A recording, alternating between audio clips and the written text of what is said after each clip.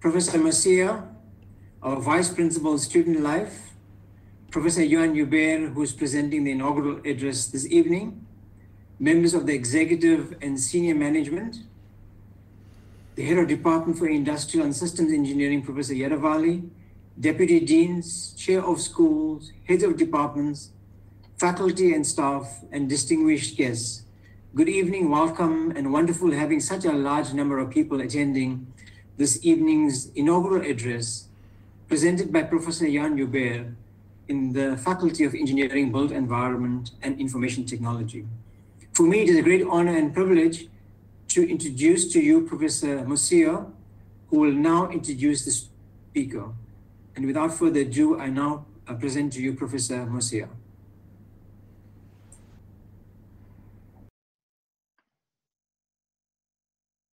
Thank you very much, uh, Professor Maharaj. And good evening, ladies and gentlemen. Inaugural addresses are auspicious occasions in which we celebrate remarkable academic achievements of our colleagues. And these are truly distinctive university traditions that span centuries, and they provide opportunities to not only celebrate their academic endeavors, but to give recognition to the impactful research and new knowledge they generate. For those involved in academia, to sit back away from the pleasures of work and listen to an esteemed colleague with undivided attention. It is from these occasions where different and usually exciting perspectives emerge.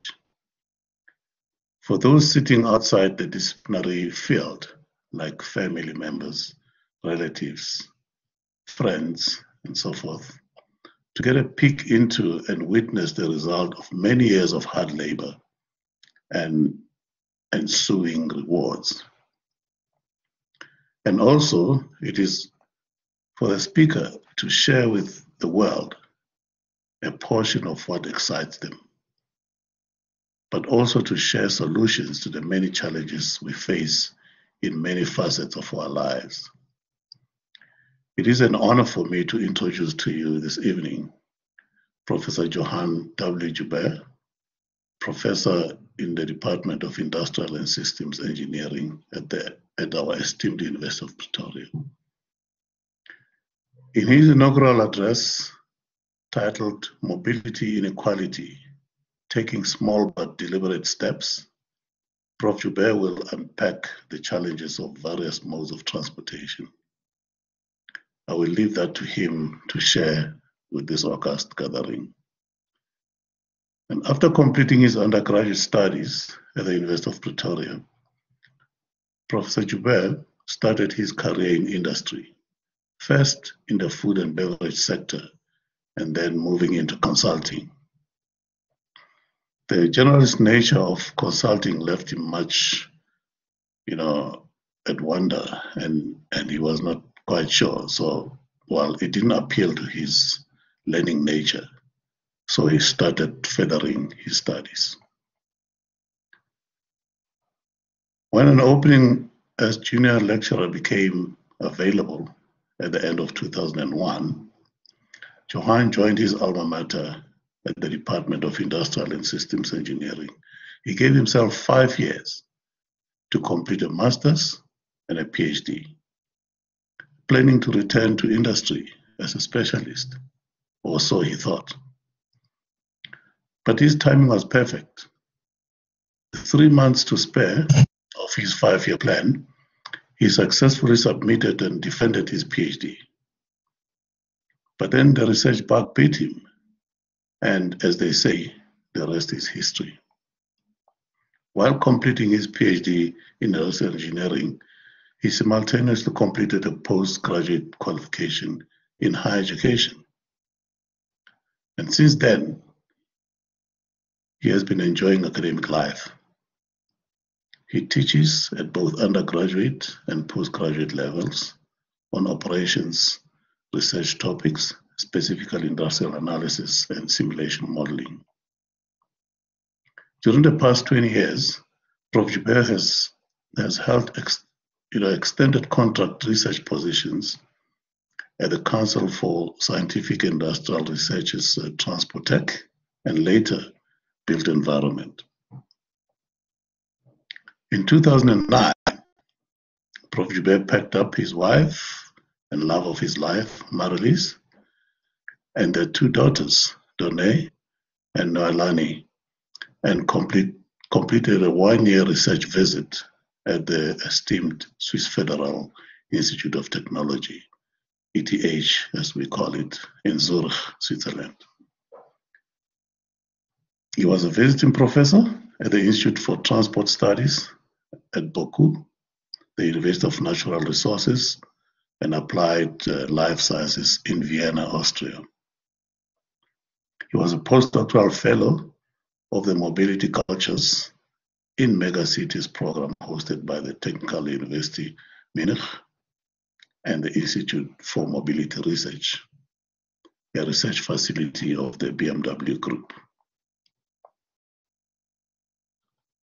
With his inquiring mind, strong learning drive, and recognized capabilities as a problem solver and opportunity developer, Prof. Joubert has managed to build up a rather impressive publication record, particularly in his specialist field of transport and transport modeling.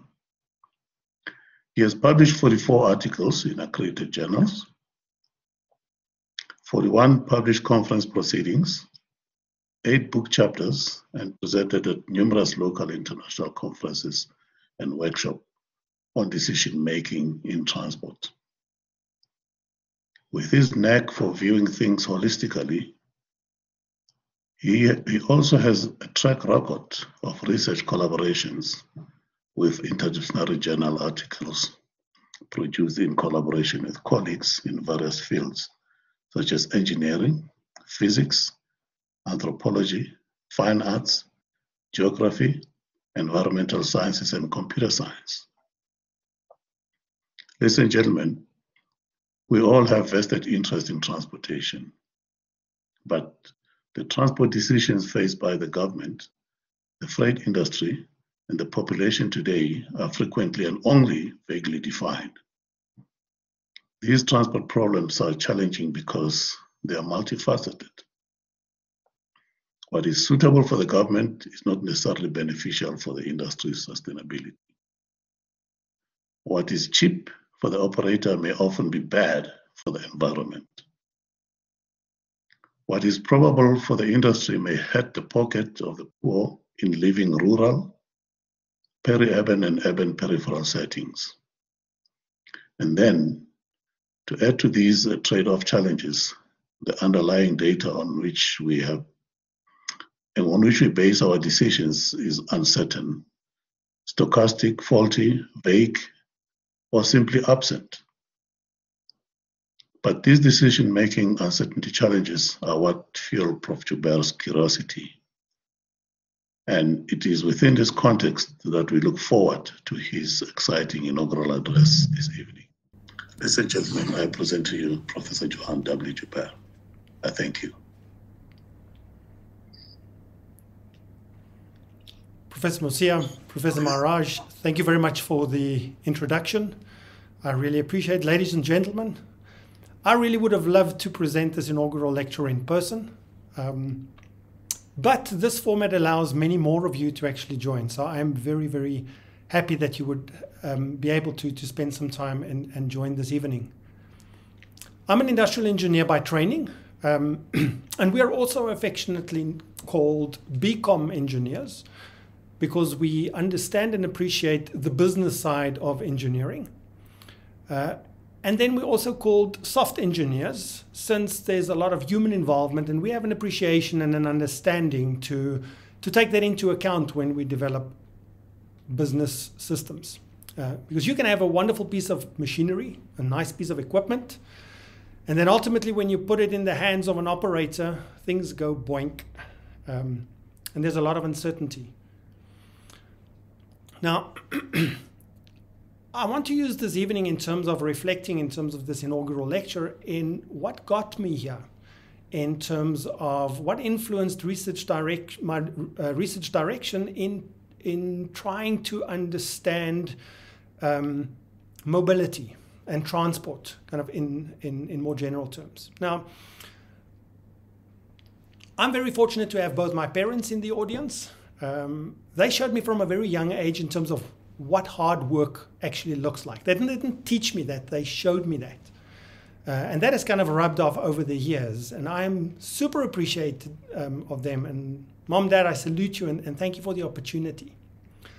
But in working hard, I actually got it right uh, to, to really have a good work life balance at the end of the day. Now, that might sound kind of awkward.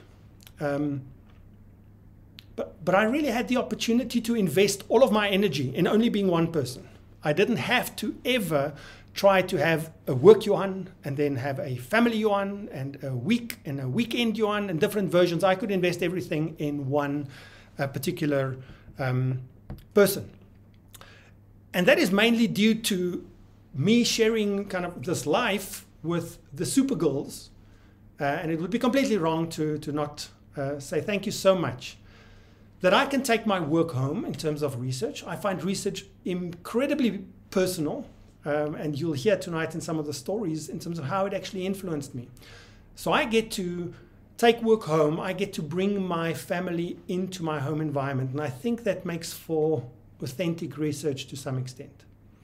So Marlies, Dunay, Lance, I love you to bits. Thank you so much for the opportunity to actually be here and, and kind of be acknowledged in this setting much of it I actually owe to you in terms of being able to um, to achieve what I've actually achieved and having a heck of a lot of fun along the way as well. Uh, so thank you so much. Um, i really, really appreciate that. Um, but then I'm also super fortunate in terms of this process um, to look up to an older brother that I can knock on his door anytime and just look up and, and just get some advice in terms of this this work life um, thing. And he would usually just remind me and say, hey, just walk with me, work with me, watch how I do it. Learn the unforced rhythms of grace. Come on, keep company. Keep company with me, and I'll show you how to live freely and lightly. Right? You, you just have to love an older brother that you can look up to. Um, he's the spitting image of, of his dad, um, of my dad. Uh, and I'm really super happy to be able to to have this conversation in terms of, of mobility this evening. So, the title of my talk is Mobility Inequality. And I really have a long standing relationship. I get to come to campus uh, frequently uh, and look at the Old Arts building. And I have a long kind of history with the, with the Old Arts building. I'm lucky to have been able to study here. Um, but there really is a pretty long history. And more recently, about well, 12 years later, the picture hasn't changed of the old arts building all that much. Um, and the story still continues. And I'm super proud to be able to say that two of these gorgeous kids are currently studying engineering here at Tukkies, and the third is about to register as a student. So it should then actually not come as a surprise that much of the research influence come from real life experiences. And that to me is important. Maybe as a soft engineer, it becomes even more important. But some of these pivotal moments are what actually changes direction. Um, and as I grew up, not just as a, as a person, but also as a researcher, I kind of realized the, the tremendous amount of, of privilege in being able to do research in, in this particular field. And along with this privilege comes authority. Um, a huge, we've been, we've been blessed with a huge amount of, of authority. And as Rick Warren says, what are we doing with this authority? Are we, are we speaking up for those without any authority.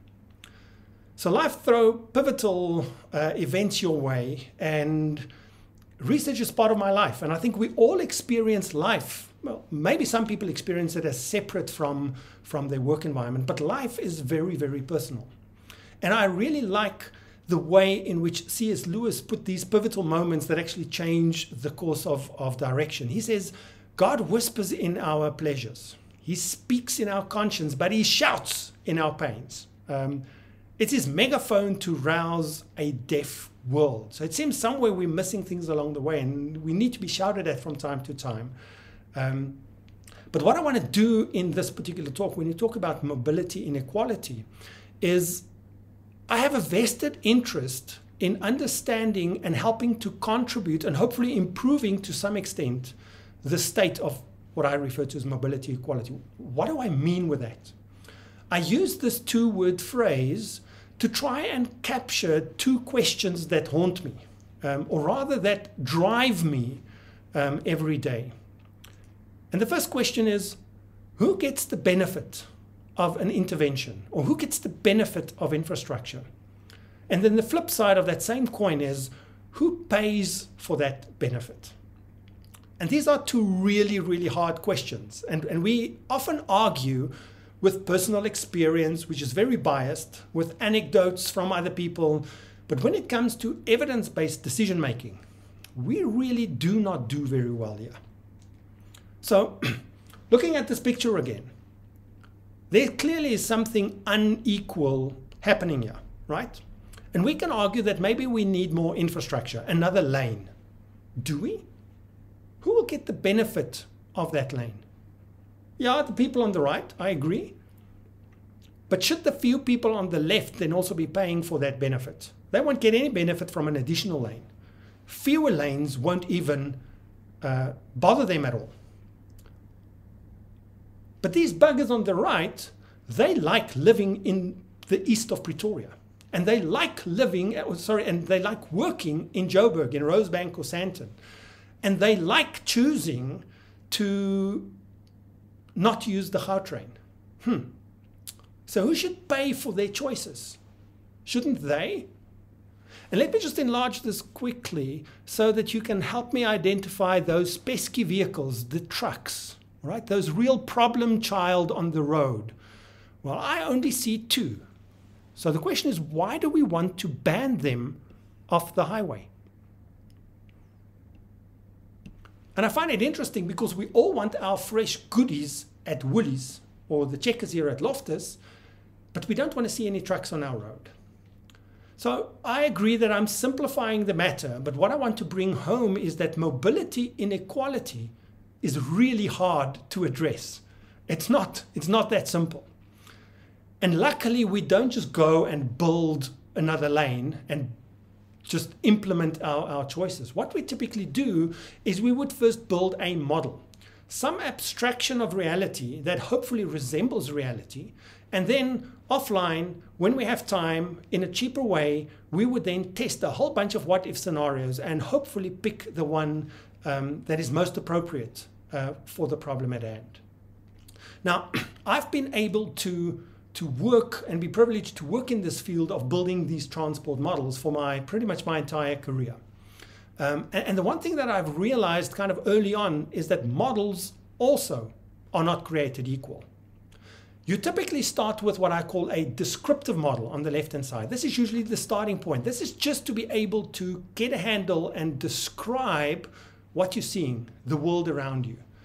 Um, we call it exploratory analysis. We call it summary statistics. Very often it's just describing, and, and that's the first point, or, or the starting point. And then we get to prescriptive models. So once you've looked at the past and you've got some handle in terms of, all right, I see the patterns, can you actually predict what the future will look like? Uh, and this is very often the next step. But those of you that read Nassim Taleb's work will probably agree that we really suck at this. We don't do this very well. And then prescriptive models or optimization models are those type of models where we prescribe what the optimal course of action is.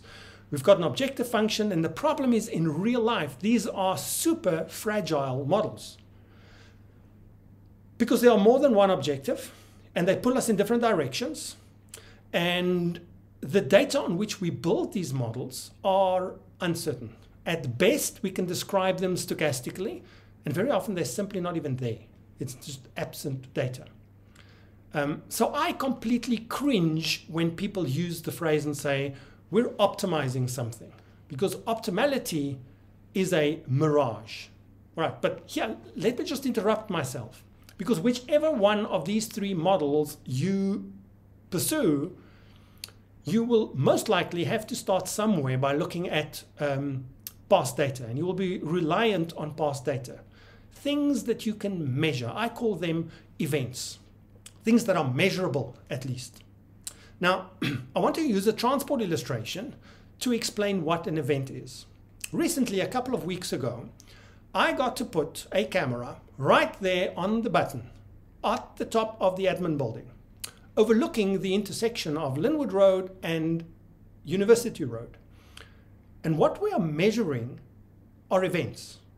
We're counting the number of vehicles that carry straight on over the intersection, how many turn left, how many turn right, how many trucks are there, how many cars, how many pedestrians, how many cyclists.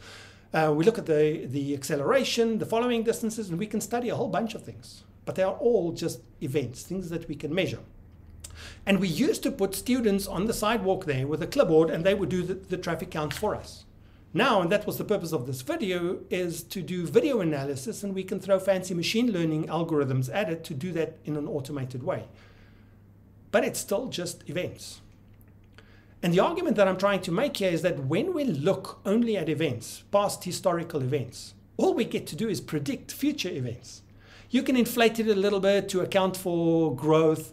You can manipulate it if you have some assumptions, but it's based under assumptions. But you look at events, and all you will do is predict future events. Whereas, in fact, events are the result of underlying behavior, people's and real people's real choices. So when you look at this intersection again, you kind of you can look at it differently. Why did that person turn left at that intersection? Is it maybe because they live in Arcadia and they're on their way to drop their child at the primary school down here in Lynnwood Road? Um, why did they carry straight on? Were they maybe on their way to pick up their child at office and take them to the medical center here at Loftus Park? What's the real choices behind it? And that little person that just arrived at the intersection in the blue car, uh, they might be usually in the taxi, but today they had to go by car because they've got some other activities that they need to tend to. Mode choice. So there's a lot of behavior happening, and the behavior changes over the course of the day, and so does the events because schools come out at a specific time. And if you know the area, there are five schools in the direct vicinity. Again, the argument being that if we look at the data differently and we start analyzing it and, and, and interrogating it differently, we get handles on behavior.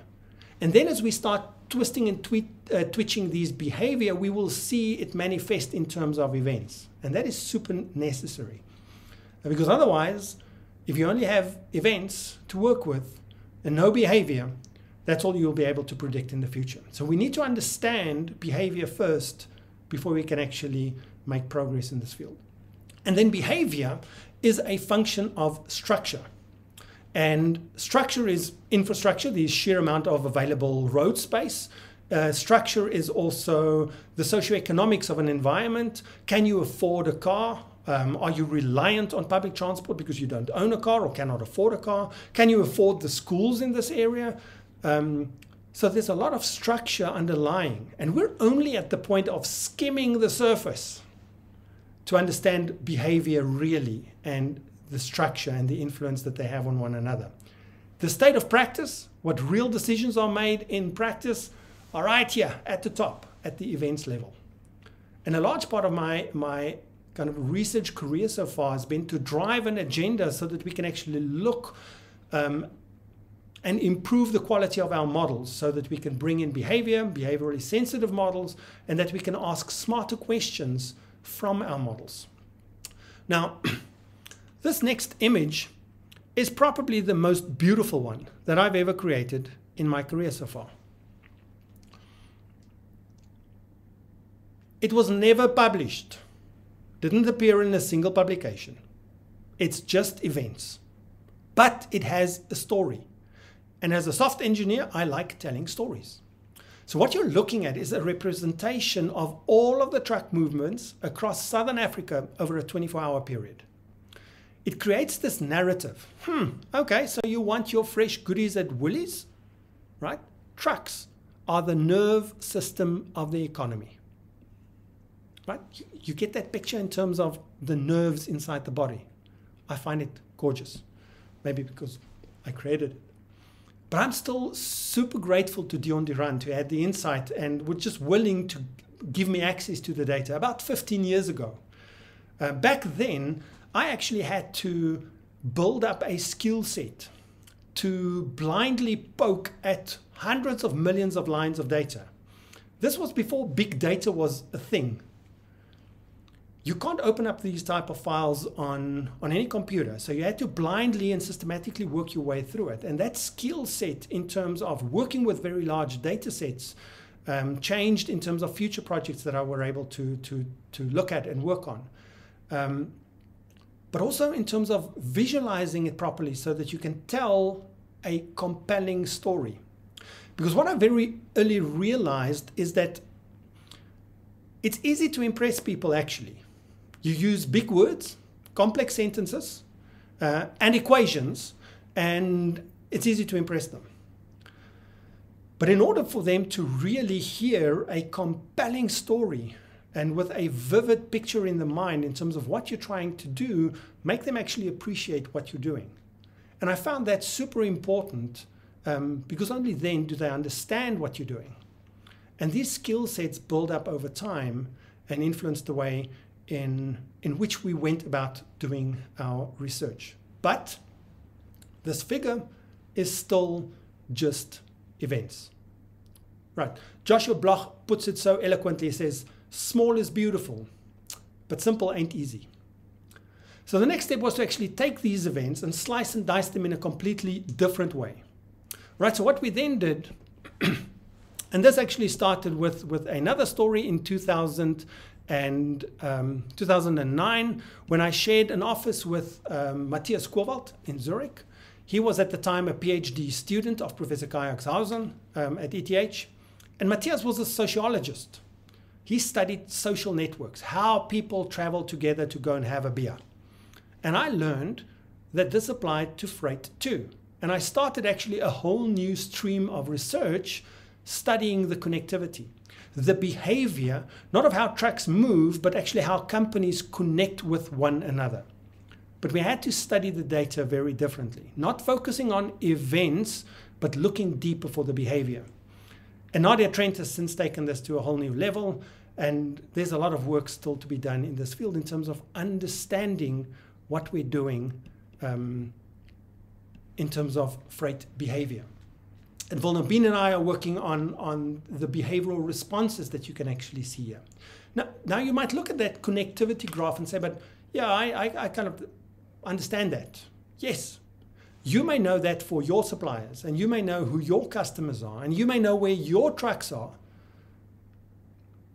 Number one, you're not necessarily willing to always share that data, and you might ask, but why should I? But you don't necessarily understand it for the system as a whole, and hopefully these questions will become clearer as I go through the presentation. All right, so long introduction to actually get to the table of contents. So what I want to do with this presentation is just to share how personal real experience uh, created stories that we can tell that impact the research direction. And these images are courtesy of Susan Wolf, and I'll, I'll say a little bit more about that just now. But suffice to say is as we push the boundaries and as we study behavior instead of just events, we realize that this behavior thing is pretty tricky. It's the driver but studying behavior is no, is no trivial task. And hopefully, if I can stay within my 40 minutes, I will let you in on what we're busy with right now. So, back to the different types of models.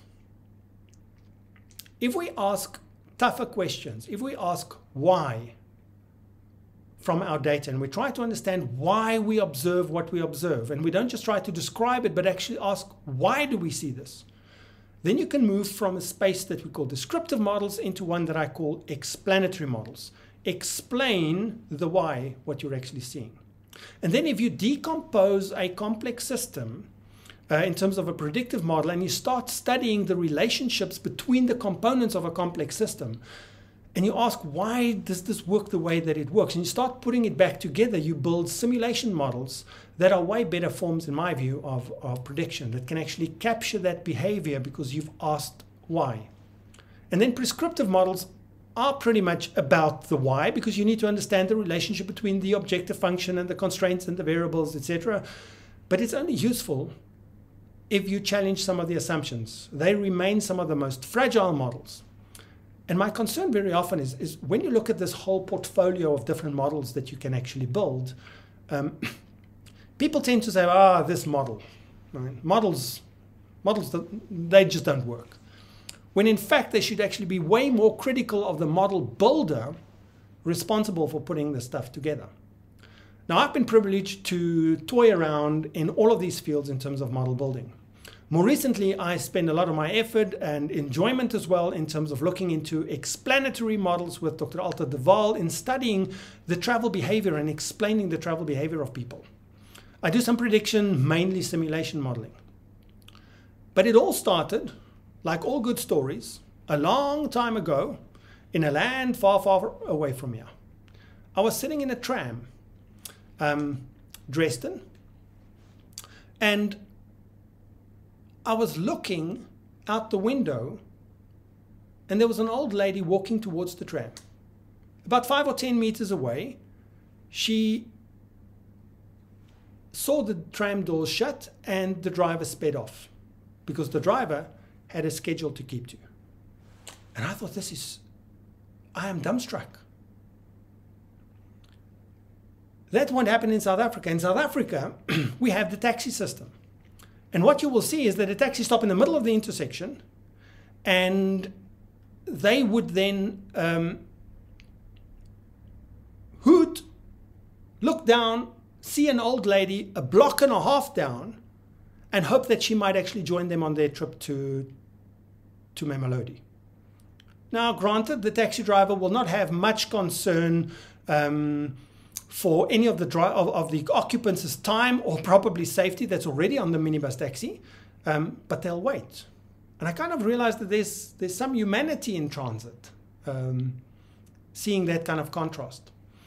I'm not saying the one is right and the other one is wrong, I'm just saying they're so different. So after my PhD, we, uh, which actually looked at um, optimizing networks and, and, logistics, we started applying it, or, or, thought that we would be able to apply it to um, to public transport.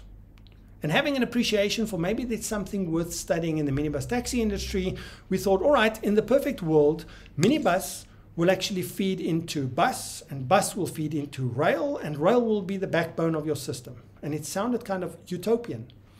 Um, and you would only need a car if you're either stuck up or you live out in the sticks or you really have very unique travel uh, uh, reasons to, to actually travel. So we embarked, we tried to build the optimization model, and very quickly we realized this is literally not doable. There's no literature that can actually help us design this public transport network. And the reason is all those algorithms require you to know where the bus stops are because your job in the algorithm is to connect them optimally with one another.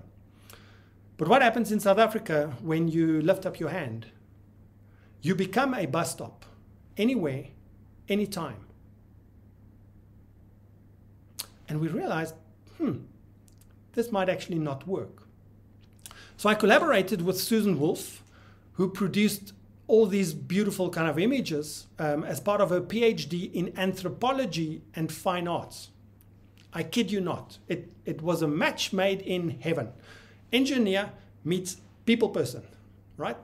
Um, I was so out of my comfort zone. Uh, it was awesome. And to, to this day, it's probably still one of the most cited papers in my, in my portfolio. Uh, I, had a, I had a heck of a lot of fun. And Sue, please forgive me if my kind of sizing of your of your artwork is not is not correct. Each of these hand signs tell a story. There's a story behind the origin and how people use the hand signs to actually communicate. So this actually opened up a completely new world for us. And we knew that capturing this dynamic in terms of a commuter on the fly communicating with a transit vehicle lends itself, this complex system with a lot of uncertainty lends itself to simulation. And this also happens to be at the start of um, kind of when agent-based simulation and multi-agent system raise its head. So we saw the opportunity and we built a prototype. In, we did it in an early version of AnyLogic and we were pretty chuffed because we got it right. We modeled an agent, a person, a commuter, to navigate from an origin to a destination on their own. We didn't tell them, we just said, get to the destination. Um, and by the way, there's multi modes to, to actually choose from. And the agent were able, the agent was able to, to figure it out. So we were pretty chuffed because we had one agent, we had one origin, we had one destination, but it worked. It wasn't scalable. Um, we can't model 14 million individuals using that approach. Um, so the journey kind of continued. So Peter Fourie and I got um, on the plane and we did a road trip to Europe uh, where we met two groups who apparently were working on something similar, but theirs were a little bit more scalable. So we wanted to go and investigate. Uh, and that two week trip to ETH Zurich and TU Berlin is probably worth an entire um, presentation in its own right. Um, but suffice to say that we met the groups under the leadership of Professor Kai Axhausen and Professor Kai Nagel. Um, and that opened up the wonderful world of MATSIM. Now, in the process, and this is an incredible piece of machinery, um, it's definitely not ours. Uh, we just get to collaborate and, and see all the amazing developments that's happening. But in the process, we also developed this love hate relationship with open source software. Um, now, my students here in South Africa think I'm a programming guru. Uh, I got a mug once from, from a group of students that said, he turns coffee into code. Um, and at the time, it was kind of funny because I really don't consider myself a great programmer. Um, I know enough to get myself into trouble and maybe sometimes enough to actually get out of trouble again. Um, and I sometimes think I frequently frustrate the crap out of my European collaborators. But be it as it may. It would be wrong at this point not to acknowledge um, those two research groups, both under brilliant, brilliant leadership. Um, I have not seen two such superb researchers be so generous with their time, sharing their experience, sharing their knowledge, and actually, it's way more than knowledge, it's actually wisdom um, so generously. So, both guys, Kai Axhausen, Kai Nagel, thank you so much for all those opportunities. Um, we owe you a tremendous debt. And to their PhD sorry, students and master Prof, students. Sorry, Prof, we are sorry to trouble you. Uh, we can't see your presentation. Maybe you can uh, reload your slides or something.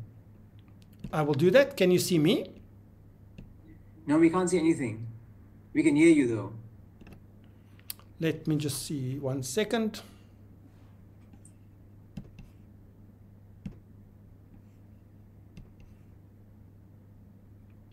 Is that better? Still not?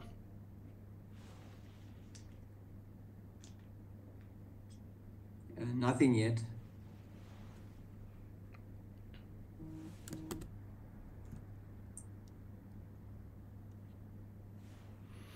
Let me just switch off the camera and switch it on again.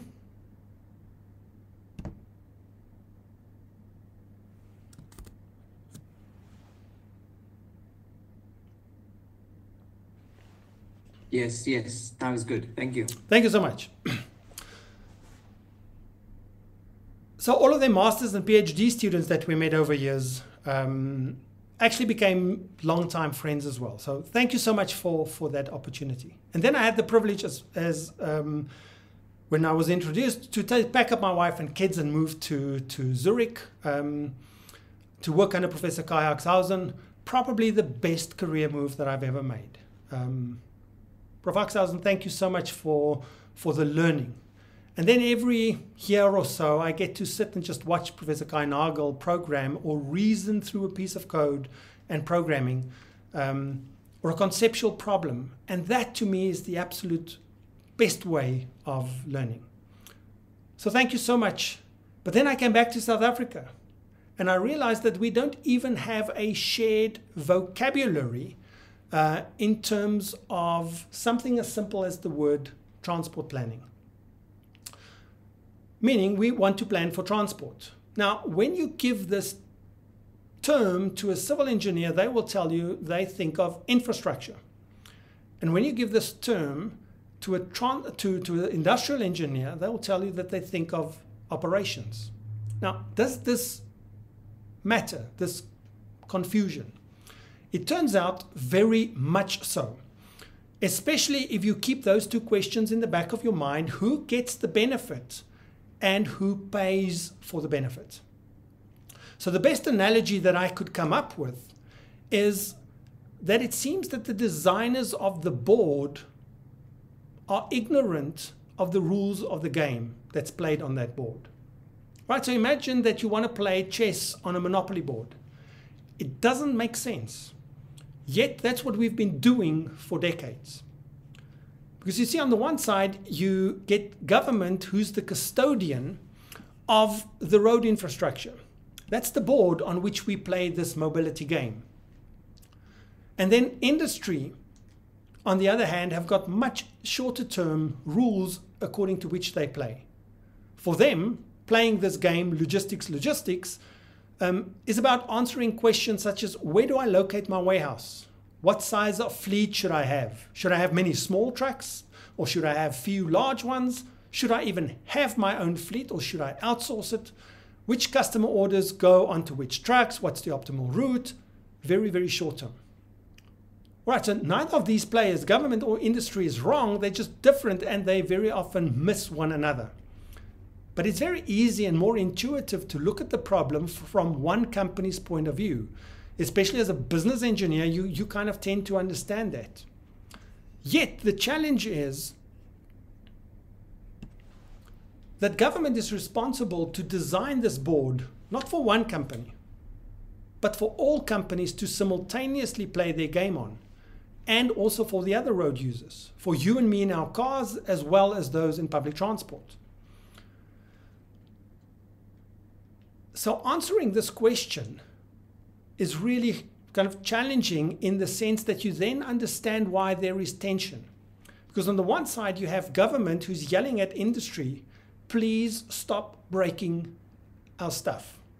And when we talk about braking, we're referring to overloading, we're referring to congestion, um, and then also one driver per vehicle commuting.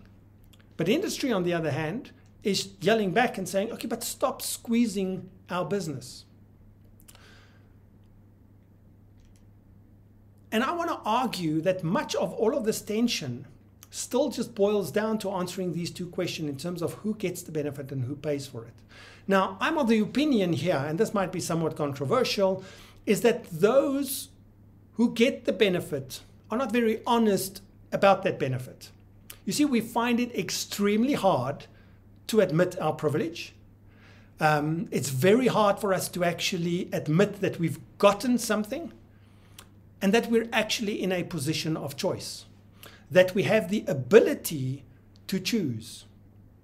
And especially in a country like South Africa with our economic inequality, um, you might know that there's this international, somewhat crude but efficient metric called the Gini coefficient, and we're second to last on the list when it comes to economic inequality. We're second only to our neighbors, Namibia. What is worrisome is that this metric has actually deteriorated over the past 25 years. So something we're doing wrong somewhere. And I argue it's because we don't have a very good handle on these two questions. Now, they aren't simple to answer. But are we making progress or are we just part of the crowd that points fingers and saying, oops. Now, there's a lesson that my dad taught me that I'm still trying to get over to my students, and that is that two types of people go nowhere in life they who don't do what they're told, and they who only do what they're told.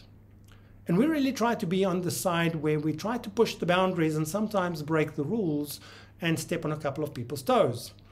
And one of those results have been to push the agenda for for a new type of, of model, to model things differently. Now, many of you have probably seen this animation, um, but let me just enlarge it. Every dot here represents an individual. And the color of the dot represents what that person is busy with. Now, if you don't recognize this, this is the city of Cape Town, and Table Mountain is the green blotch just below the clock. So if we run this um, dynamically over a 24 hour period, and by the way, this beautiful visualization is courtesy of a cool tool by Marcel Rieser. Um, and it allows us to visualize a very vivid picture. And what we see is around about six o'clock in the morning, uh, you start see people arriving at work in the CBD area. You start seeing um, Road running from west to east and Main Road from, from north towards the southern suburbs. And you get this real dynamic picture in terms of what is happening in the city of Cape Town. There at seven o'clock, you, half past seven, you see a lot of green as kids arrive at, at school. And part of our country's problem, probably our Achilles heel, are those large blue blotches that you still see in the middle of the day, not participating in the economy. Because the poor is still on the periphery. The orange kind of dots that you kind of see uh, flickering are commercial vehicles. At least to my knowledge, this is um, one area where in the world where we always try to model people movement alongside with, with freight movement. So we introduce commercial vehicles at the same time. And what that, this allows us to do is to really, when we test an intervention, when we add a lane, when we move the container terminal from the CBD to Bellville, when we add a reserved bus lane, when we increase the frequency of the MyCiTi BRT system, who gets the benefit? Because now suddenly we can measure this at the individual level. Um, we don't just have the average person traveling on the average weekday in the morning peak period. May we never go there again. So these type of models allow us to, to push the boundaries. Now, part of the inputs into this um, is also kind of a, a, a bit of a cause of frustration in that we generated synthetic populations that are very accurate and realistic at both household and individual level. And that is basically just a result out of my sheer frustration and feeling so frustrated that I cannot tell my collaborators. And I think I probably missed out on a lot of opportunities because I can't put good data on the table to collaborate with. So we put a lot of effort over the past few years to try and improve that quality, publish it in the public domain so that these richly described populations are available for anyone to use um, kind of at no cost to really make the data open and accessible um, and that you can interrogate the process and how we actually went about generating it. And this then kind of spilled over into another field of, of research. So I became interested in accessibility. Now, the story behind this is that privilege can kind of bite you in the butt. And this kind of happened shortly after we returned back from Switzerland um, on February the 14th, Valentine's Day 2010. At the time, we were living in a gated community, a well known security estate, and with very little warning, I had to run to my daughter's room, grab her in my arms, and trying to keep her conscious as she went into seizure. For 45 minutes, probably the longest 45 minutes of my life. And it's not because we didn't have access to medical facilities. It's because the security didn't let the ambulance through the gate. But it was such a wake up moment for me to realize that you may be close to facilities, but you don't have access. Or you, even worse, you may not even have access. So this drove me into a different direction. Well, not really different. We used the same synthetic populations. And then to measure accessibility without the simulation, um, but actually to be able to, to quantify that accessibility in one way. So it started off as a very kind of brute force approach in measuring the accessibility, but it turned out quite efficient.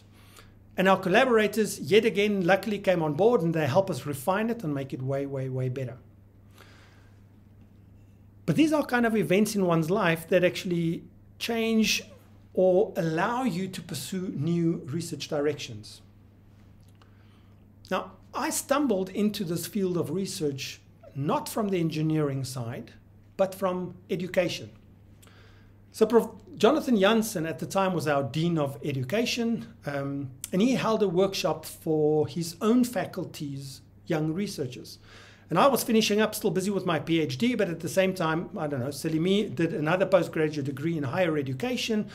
And so I got to see the invite, and I invited myself.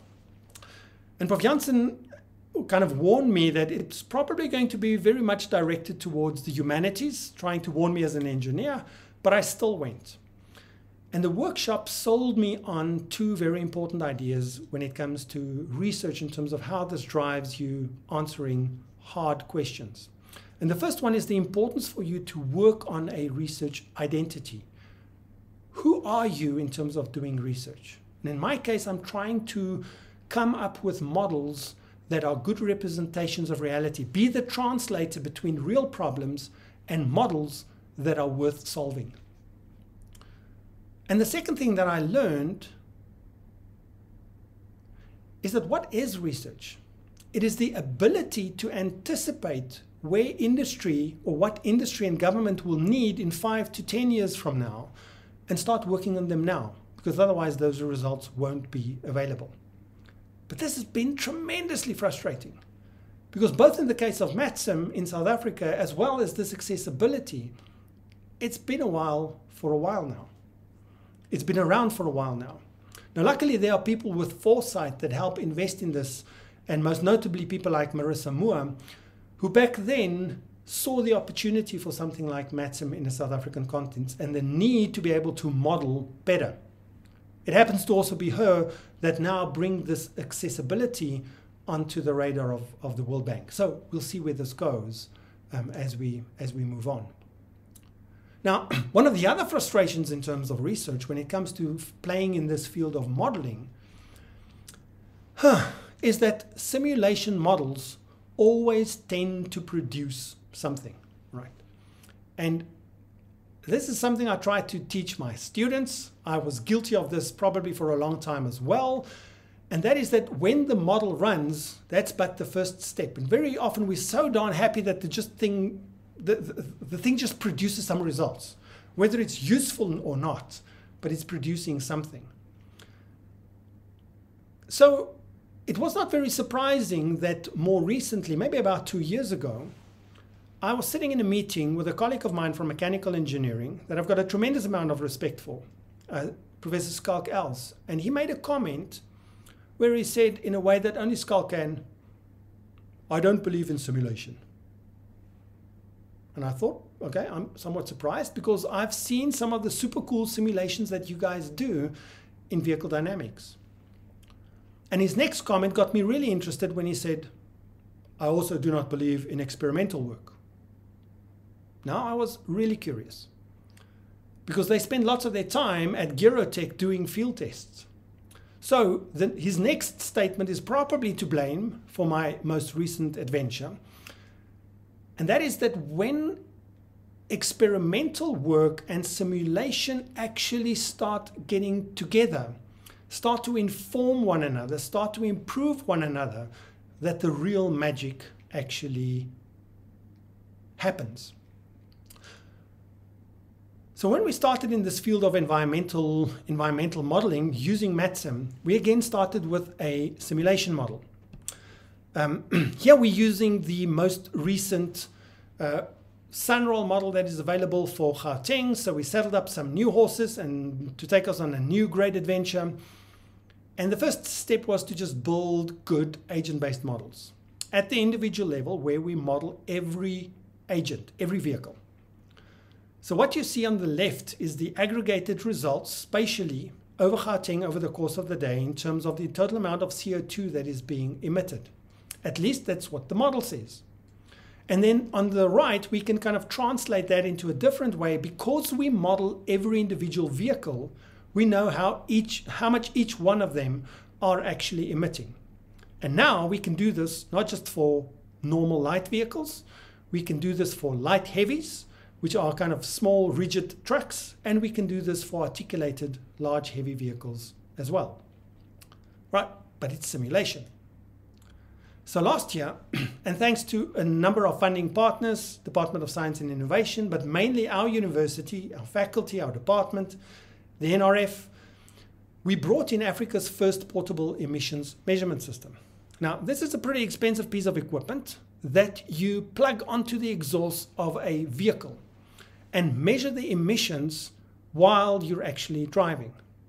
So here in this picture, you see the faculty team that the students have affectionately dubbed the EBIT boy band. And um, this handsome guy on the far right is our, is our drummer. So most of this equipment you actually cannot see because it's in the back of the vehicle. So Ruan and I started to carry heavy equipment around and started measuring the emissions. And the next step in this research now is to really understand what is happening on the ground, not in the simulation model. Because when you buy a new vehicle, what you actually see is that in the windscreen they would put a little sticker that is pretty useless, which will tell you what your fuel consumption is that you're not going to get, and the amount of CO2 that you're going to emit, which you're not going to do. Um, and that's kind of the legislation right now that we that we actually have. But to understand what is really happening on the ground, we actually had to do a lot more field tests. So in the past couple of months, over the past year, we've really burnt our fingers. Experimental work is a completely different ballgame. Um, but here you actually see how we've mounted it onto a onto the track, onto the road rail vehicle. And we will do many of these trips across Gauteng, um, different standardized routes where we measure the emissions as we um, would experience them in under real driving conditions. Different times of the day, different levels of congestion. Why would this matter? Well, for us, we're trying to bridge the gap between experimental work and simulation. We already have pretty kick-ass simulation thanks to a lot of international work.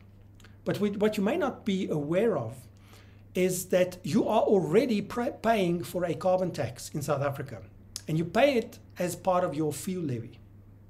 So, a long story to say, we're all the way back to the initial question in trying to understand and answer these two questions.